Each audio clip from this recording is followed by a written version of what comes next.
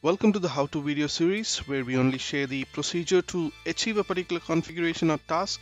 So in this video we will be looking at how to configure pre and post command in Networker. So first let's go ahead and check on the minimum requirements that uh, we require for achieving this. Uh, the first requirement is that the script should start with the name save or NSR. The preceding string on the name of the script can be anything and um, uh, the, uh, the other requirement for this is that the script should be placed in the same place as the networker binaries which for Linux is slash usr sbin and for Windows it is the uh, default location or the location of where the networker is installed slash nsr and slash bin. Uh, the other requirements is that for Windows the script that would be recognized is only .bat or the batch file and on Unix uh, you can use any kind of script but ensure that the script has executable permission for all users.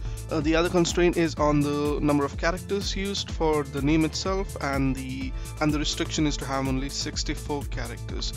Now that's it. Let's go ahead and see and at the script. We are on our client here which is a CentOS uh, version 7 and we are in the location USR SBIN where most of the NSR binaries are located. We have two scripts in this location uh, that we are going to use for this demo. One for the pre command and one as the post command which is save post underscore demo.sh and save pre underscore demo.sh. So let's go ahead and look at what the script contains and if you look at the post command. It's just a string being printed and uh, redirected to a log file and also getting printed on the console. And the same with the prescript as well. It is getting uh, redirected to a log file as well as uh, also getting printed on the console. So you can have any kind of script in this location which you want to run before the backup and once the backup is completed. So let's go ahead and see how to complete the configuration on the networker administrator. So the configuration is pretty straightforward. Uh, for this demonstration I will be using a client instance which is already created. Uh, you can create a new client instance or use an existing instance which is up to your preference or current uh, state of your configuration.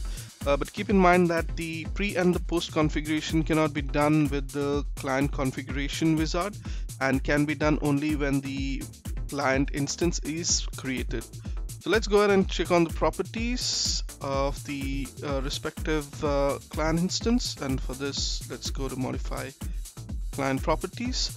So you need not be on the diagnostic uh, view mode. You can be on the normal view mode for this operation. In the client properties you can switch to the apps and modules tab.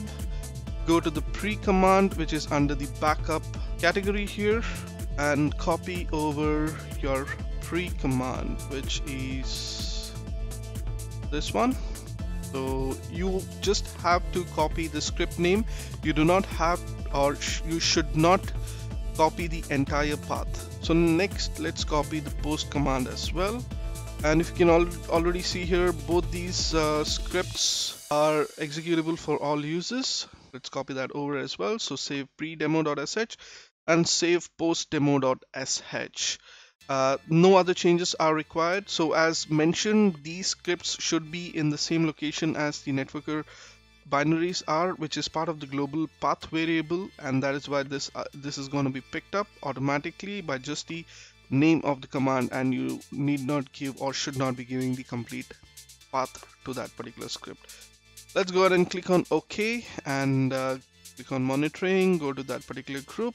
I'm going to start only that respective client so that I don't have to wait for all the backups to complete and then click on start.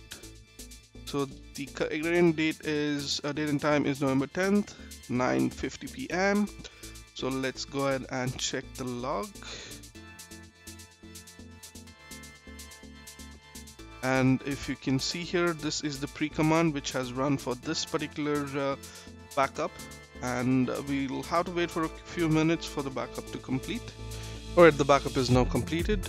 If we take a look at the log file that uh, the pre and the post is generating, you can see that the backup has taken around 15 minutes which is approximately the same amount of time that it has taken for the.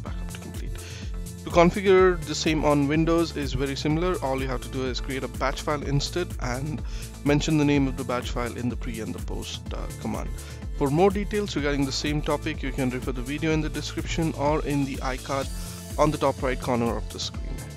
Thanks for sticking with me till the end of this video. I hope you found this useful.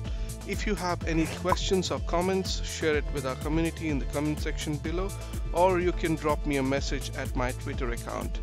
I will see you on another video. Goodbye.